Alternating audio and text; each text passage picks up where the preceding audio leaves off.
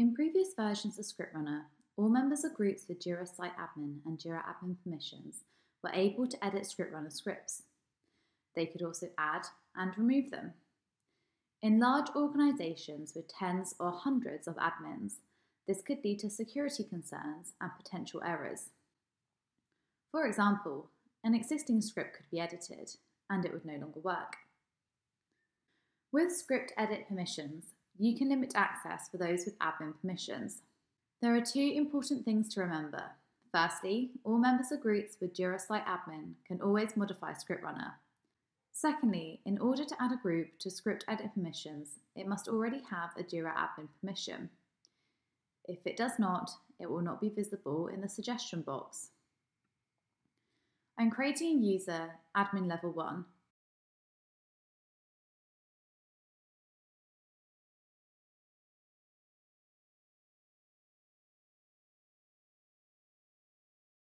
To edit members of a group, I am going to log in and navigate to the User Management tab and click on Groups.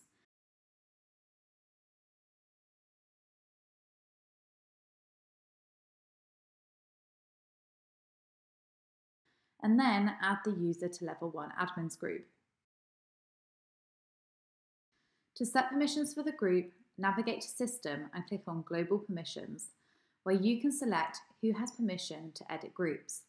Here, I am adding Jira admin permissions to this group. I switch to another browser where I'm already logged in as admin level 1. Go to Script Console and execute a simple 1 plus 1 script.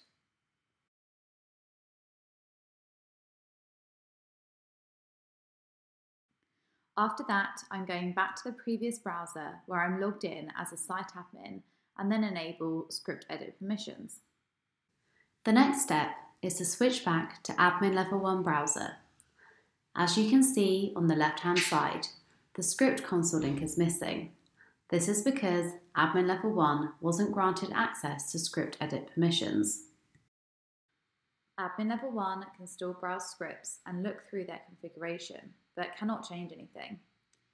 Next, we will switch back to the browser with Site Admin permissions and add Level 1 admins to script edit then we will go back to admin level 1 and refresh the page. We'll be able to edit scripts and as you can see all the fields are editable.